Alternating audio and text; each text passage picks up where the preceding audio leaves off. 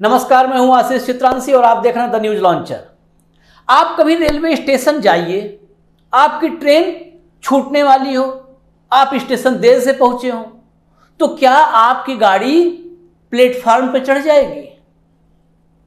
ऐसी अनुमति कहीं मिल सकती है? नहीं, क्योंकि आप और हम आम इंसान हैं।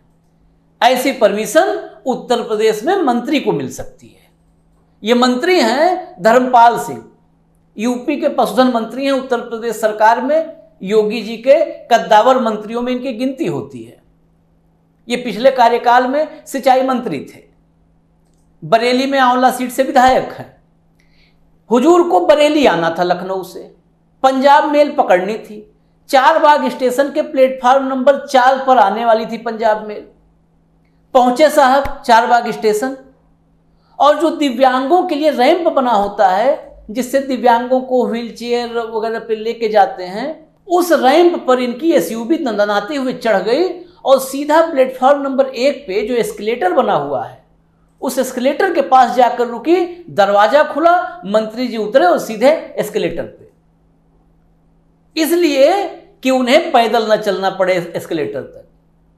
हालाँकि पुलिस की सफ़ाई आ गई कि ट्रेन छूटने वाली थी, मंत्री जी जल्दी में थे ट्रेन छूट जाती, इसलिए व्यवस्था की गई। क्या यह व्यवस्था आम आदमी के लिए हो सकती है? क्या इसके लिए कोई अनाउंसमेंट कोई पूर्व सूचना वहाँ पर कुछ कई की गई व्यवस्था? क्योंकि जैसे ही एस्केलेटर पर गाड़ी खड़ी चढ़ करके प्लेटफॉर्म नंबर एक पे पहुँची, वहाँ पर अफरा तफरी मच गई। लोग चौंक गए। एकाएक कोई गाड़ी प्लेटफॉर्म पर प्लेटफॉर्म पर गाड़ी एसयूवी चलते हुए कभी आप कल्पना कर सकते हैं?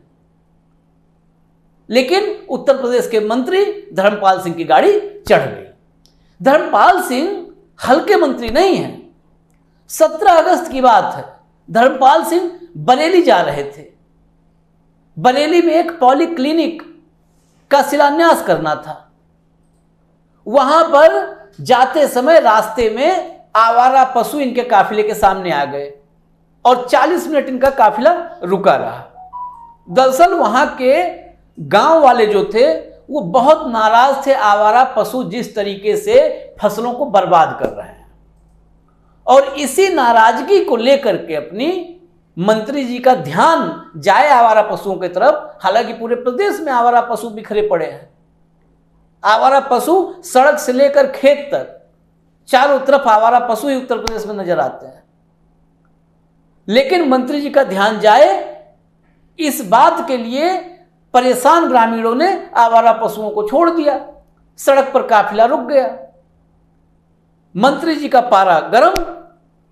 नब्बे अज्ञात लोगों पर मुकदमा दर्ज हो गया कि मंत्री धर्मपाल सिंह का काफिला आखिर क्यों रुका? कैसे आवारा पशु छोड़ दिए गए? तो मंत्री जी के तेवर तो पहले से ही निराले हैं और जग ज़ाहिर हैं। इस बार रेलवे स्टेशन में ही प्लेटफॉर्म पे एसयूवी चढ़ा दिए। खैर, उत्तर प्रदेश के मंत्री की एक छोटी सी कहानी और झलक थी कि ताकत क्या क्या करवाता है। वीआईपी कल्चर खत्म करने के दावों के बीच प्लेटफॉर्म पर चलती हुई और चढ़ती हुई एसयूवी मंत्री जी की है।